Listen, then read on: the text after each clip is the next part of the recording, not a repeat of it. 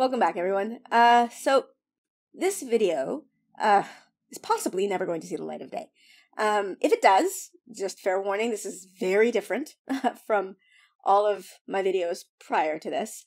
I don't know if this can work. I honestly don't know if a video on this topic can work with the format of my channel because I'm going to be talking about something very serious and very personal, and I don't know if that can come across like it might look insane with the avatar. I don't know though. Um, I will say, just as by way of introduction, this is a topic I've been. I don't know why. I've been just all week been thinking about the same thing, and today I had a weird timing schedule mishap where I accidentally showed up at work four hours early. Uh, I wasn't supposed to teach until three. I showed up at like ten thirty, so like actually four and a half hours early. Um, there's just a scheduling miscommunication, and uh, so I had a lot of time to kill, and I decided uh, to sit down and just write down the thoughts that have been going through my head for the past week.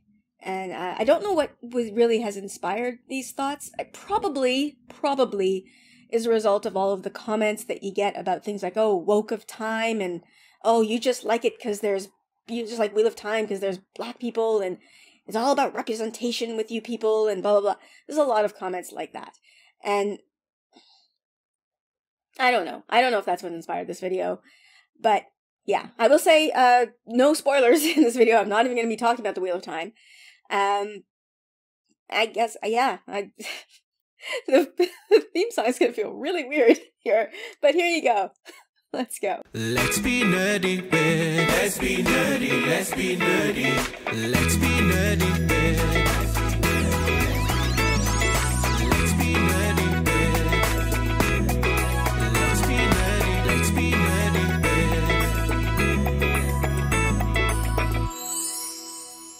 So, yeah, as I said, there are people who are dismissing the representation in the Wheel of Time, saying that it's, you know, it's just pandering. It doesn't matter, whatever. And I'm just going to say, I, I don't really think that there's a lot of intentionality behind it. I think that uh, Rafe and all of those, you know, the casting director, they just set a wide net and didn't put racial limitations on who they cast, with the exception of Rand. And I think that's great. I think that's great. I like the idea of colorblind casting. But if there was some intentionality in it, then that's great too. Because what I'm going to talk about today is is representation and how it matters. That's a catchphrase. It's a catchphrase that is said so much these days that it has kind of lost all meaning. Uh, but for me, it's it's a lot more than that. It's it's a reality. It's a reality because I can look at my life and see with absolute clarity what the lack of representation stole from me. The years, decades, really, of my life that I wasted because of what not seeing a representation of what was possible did to me. To explain this, I have to go back. Uh, my first memory of knowing that I was gay was when I was nine years old. Uh, one of my classmates called another classmate a homo. And I distinctly remember having the thought, oh, that's right, I gotta keep this a secret. And so, as part of keeping that a secret, I learned to pretend to have crushes on boys. I remember even being very, very calculated about it, thinking, okay, I won't pick the boys that all the other girls like. I'll pick someone a little different. That way, you know, it's more believable. And I don't won't have to worry about not reacting the same way all the other girls do because everyone will know I just like a different kind of boy. Uh, I've mentioned this a couple of times in videos, but I just to reinforce it here, the home that I grew up in was was very religious, like to the point that it's actually kind of hard to convey the extent to which we were religious. We went to church several times a week. Uh, we woke up early every day uh, to pray together, me and my mom, uh, for like an hour. Did that all the way through, like to the end of high school. Uh, there was speaking in tongues, laying on of hands, Bible verses were memorized, devotions were held. It it is honestly almost impossible to overstate how much religion was a part of my growing up. Uh, when I was 10, all the other kids in my Sunday school class were uh, signed up to get baptized, and I wouldn't sign up. Week after week, the Sunday school teacher would ask, and week after week, I refused. Uh, my Sunday school teacher must have told my mom about it because um, one night she just asked me, and I tried to put her off, but she was persistent, and eventually she started to get angry that I would not participate in this, you know, fairly essential sacrament of our faith. And I remember her becoming increasingly desperate, just yelling, like, why? Why won't you do this? I couldn't say it out loud, so I found a piece of paper, and in the tiniest, tiniest letters that I could make, I wrote it down. I wrote down, I, I can't get baptized because I'm a homosexual. I didn't know the word lesbian at the time. Uh, I was so terrified, you see, because I truly, truly believed in my faith, and I was scared that if I got baptized while being gay, something horrible would happen to me. Didn't know what, but something horrible. I don't remember exactly what my mom said, uh, but she did send me for prayer counseling with a man that I still know. Actually, I went to dinner at his house the last time I was in Canada. Uh, looking back, as an adult, I can understand what happened during those counseling sessions, but 10 year old me, 10 year old Jenny, did not understand. Now I can look back and see that this man was operating under the assumption that that homosexuality was a sexual perversion, that it was all about sex. So he talked about sex to a 10 year old girl. It was gross. It was incredibly uncomfortable. Sex was disgusting to me because I was 10 and I was innocent. I, I barely knew what sex was, and I literally had no concept of what sex between women even meant. I just knew that girls were enticing, and these two girls, Anne Christine, Kimberly, they they were in my class, and I wanted to hold their hands, and I wanted to touch their hair, and I liked it when they smiled, and I got butterflies when they smiled at me. But this man, he made it all so disgusting. He kept talking about sexual fantasies and, and masturbation, and eventually I told him that I was just I was better to make it end. But of course, it wasn't better. Uh, I just learned to hide it better. Uh, even for myself, I would concoct more elaborate stories about the boys that I, I, I liked. One of whom actually shares a first and last name with a uh, recently discovered very prolific serial killer, which makes it doubly funny these days when my mom brings him up as proof that I was I was healed, quote unquote, from homosexuality as a child. Uh, she'll say, "But you were in love with for all of your teen years. And I'll go like, no, what? What the f- ah? Oh, you mean the boy from junior high, not the serial killer. Anyway, my, my quest for a cure didn't stop. I, uh, throughout my teens, I would find people to pray for me. Always visiting preachers, visiting faith healers, people who didn't know me or my mom or anyone that I knew. I even once uh, found a way to go see a faith healer on my own, like without my mom, uh, to ask him to like I wanted to be exorcised. Like I, I don't know how to use that as a verb, but I like to to get rid of a demon inside of me, like the demon of ho- homosexuality. That was that was a life experience, one that I would not wish on anyone, and I do not want to repeat. Uh, but anyway, none of it worked, of course. I heard about a program called Exodus, uh, a Christian program that claimed to be able to cure homosexuality. Uh, Exodus was, at one point, the largest gay conversion program in North America, possibly the world, I'm not sure. Uh, they were covered on the news. They, their success stories showed up uh, as guests on, on talk shows, which I'm sure is how I heard about it. So I came up with a new plan. My plan was to just survive, get through high school, then go to university, then get a job, and then I can save up enough money to go to Exodus and then become straight, and then no one else in my life would ever have to know. In the summer between grade 11 and 12, uh, the church that we were attending at that time held, held a massive outreach. Gosh, it's so hard to talk about my childhood without using Christian terms that might be completely incomprehensible to people who aren't Christians uh, or didn't grow up into that environment. But we planned it, it was an outreach, a mission, whatever, to our city. And as part of this event, like people were brought in from all over the country, all over North America, really, uh, to you know be a part of this. And when they arrived, uh, each of them gave like a, a brief introduction and, and testimony from uh, the pulpit during a church service. One of them, a young man, was one of those Exodus success stories. He had been cured of his homosexuality.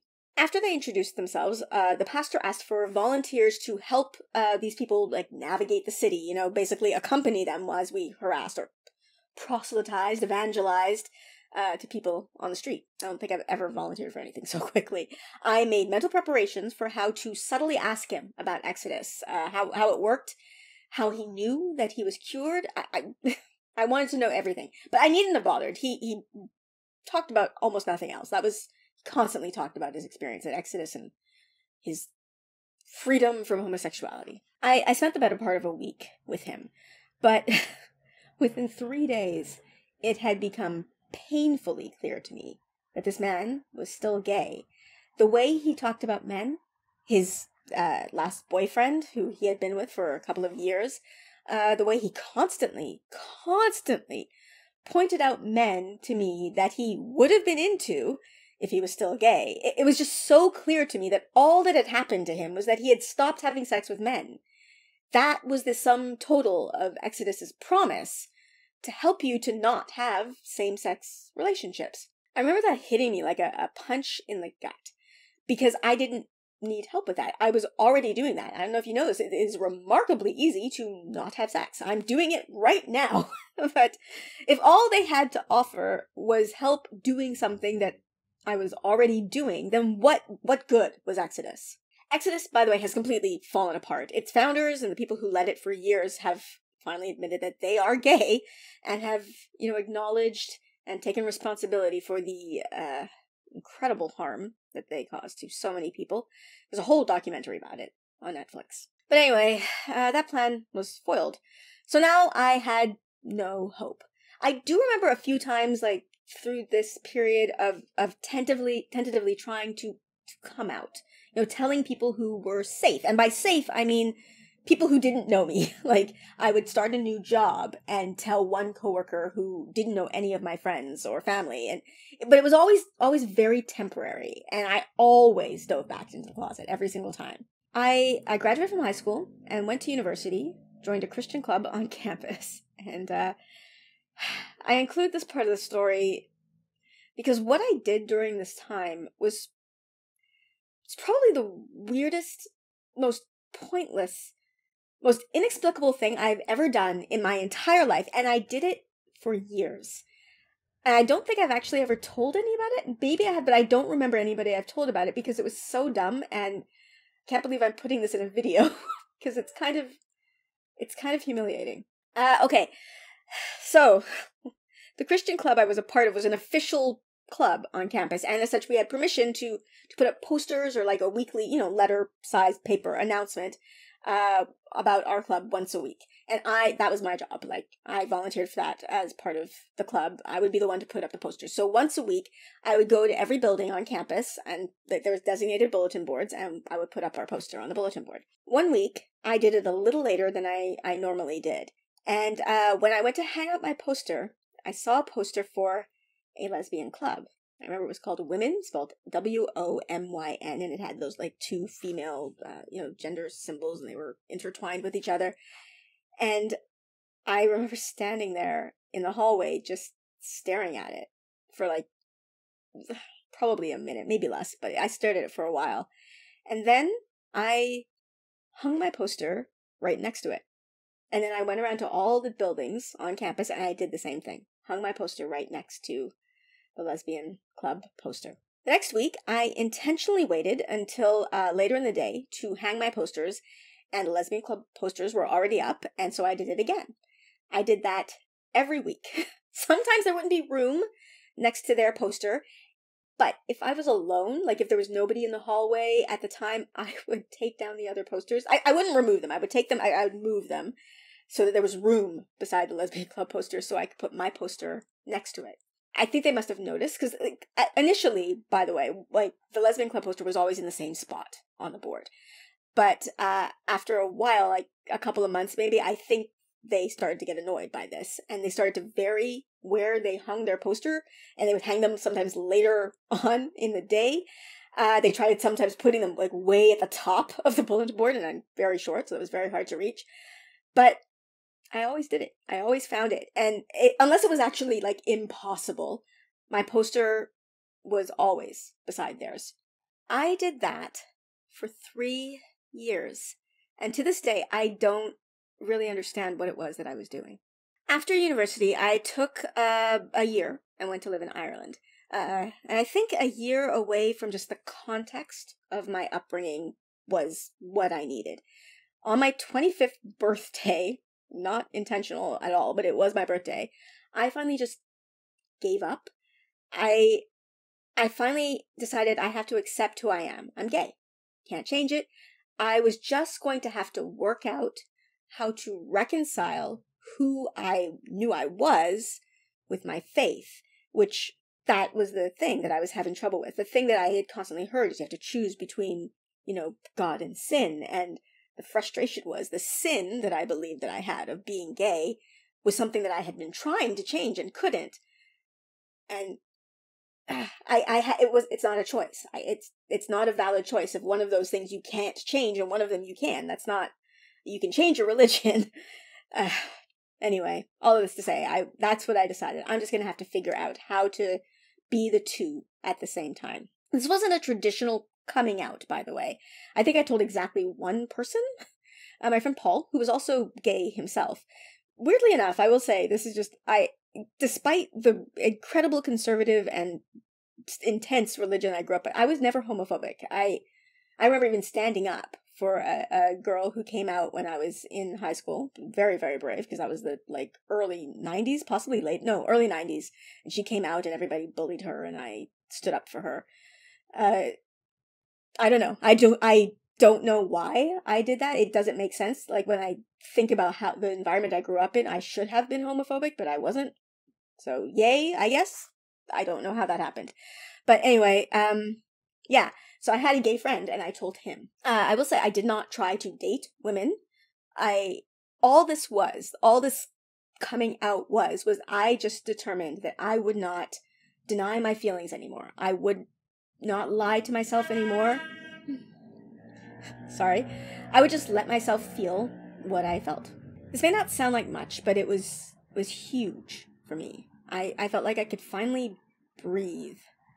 Years later, I remember telling one of my pastors that what it felt like was that I had spent my entire life swimming against the current and, and gotten absolutely nowhere. Everything I tried to do didn't work because I was pushing against this incredible force. And then one day I just, I turned around and all of a sudden, all of the struggling, all of the paddling, all of the, anything I did, it actually worked. I could actually move.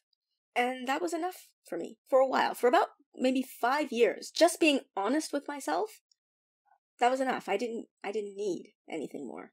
But, like I said, it was for a while. Eventually I began to chafe on this too. I began to feel like I was lying to everyone around me all the time.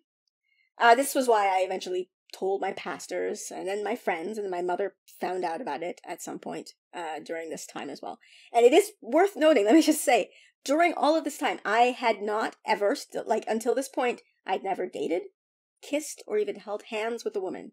All I was doing at this point was being honest with myself and now with other people about who I was. Allowing myself to actually be with women, that was still a few years off. I've told all of these stories about myself just to try and explain, to, to articulate what to me was a very basic and foundational belief that I had that I never once, not even for like an instant, questioned. And that belief was that it was impossible to be a Christian, a true Christian, and be gay. The amount of time that I spent, the amount of time that I I wasted because of this belief, if I think about it too much, it it depresses me. My life would have been so different if at any point between the age of 9 and 30 if this belief had been challenged in any way. Which is where I finally come to the point of this representation. Representation matters. Last year, I finally got around to watching The Expanse, and anyone who has watched The Expanse probably knows what I'm going to say right now. In the third season of The Expanse, there's a character named Anna who is a lesbian, and she's happily married, and she has a child, and she's a pastor. She's a Christian pastor. And her faith feels sincere and true. The way she thinks and talks about her faith feels familiar, even more so in the books than in the show. And they the authors must have had like they must have talked to actual Christians or people who grew up in the Christian world because like it, it feels real. It's my one beef or my one problem I should say with Firefly is that it is very very clear when I watch it that the character of Book was written by somebody who is not a Christian. Like it just he doesn't talk or act or think like any Christian I've ever met in my life, and it just comes across as, oh, this is what an atheist thinks Christians are. Anna feels real. That when I was like, when you're in her mind in the books, her thoughts, I, I could see myself in her. Now, I, I should say this, because I've been talking about religion a lot. I, I do need to clarify. I am not personally religious anymore. And despite what all of this backstory may make it sound like, the shift in my beliefs had really very, very little to do with my sexuality. Other life stuff, other life events and experiences and whatever, they happened and my beliefs changed. Um, but my roots are still my roots, and Christianity uh, is still like the foundation on which I grew up, and it still holds a lot of beauty for me. As weird as it may sound, there are times I actually miss it. I miss my faith.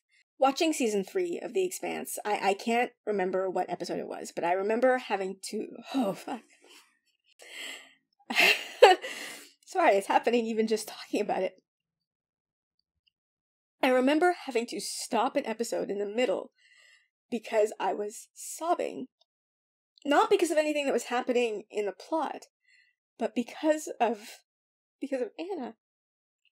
Just the existence of Anna and because because of the absolute certainty that I felt in my bones, like I knew it with with I knew it that if I had seen a character like Anna in any form of media that I had taken during those years, that my life would be different now. Anna would have shown me that something that I had believed with all of my being was impossible, seeing her would have shown me that it was possible, that it could exist. I was sobbing in grief for the time that I had lost. the time that I had thrown away. I had spent more than I'd spent more than 20 years of my life 20 years of isolation, depression, suicidal thoughts, fear for my immortal soul. 20 years of my life trying to figure something out that one hour of television could have solved for me. I was also sobbing in relief and joy for the kids coming up now who have a character like Anna to help them see the the possibilities of what their life can be. I I cannot even begin to guess what my life would have been like if I had seen an Anna during those years. I just know that it would be different and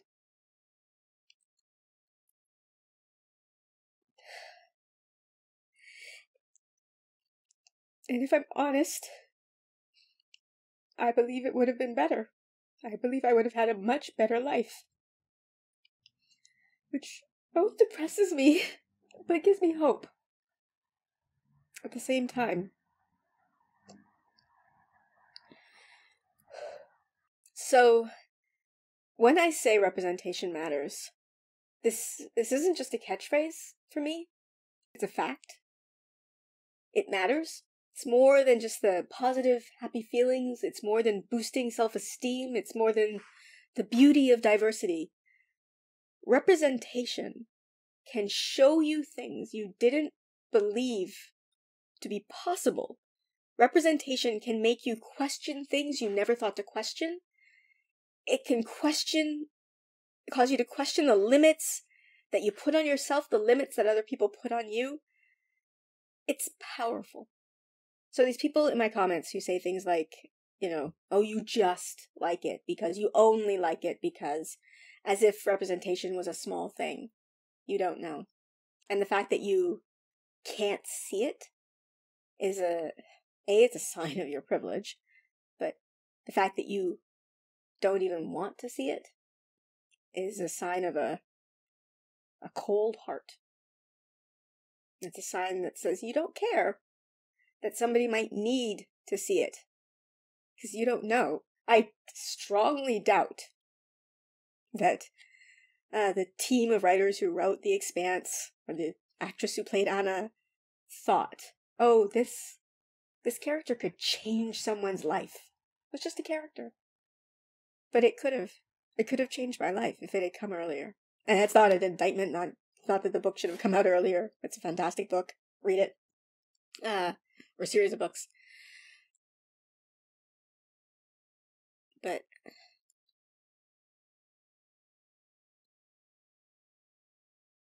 it's important. Representation is important. You've had it your whole life, you don't know. And that's good for you, yay. But don't try to take it from other people, because you don't know. And I guess uh, that's it. I'm gonna have to check and see if this looks so stupid with a cartoon. Uh, so I guess I will end this here. Um, feel weird saying this, but I will have links in the description for Discord and Patreon and all that, so check it out. And I guess I will end this here. Please like, subscribe, and I'll see you next time. Bye.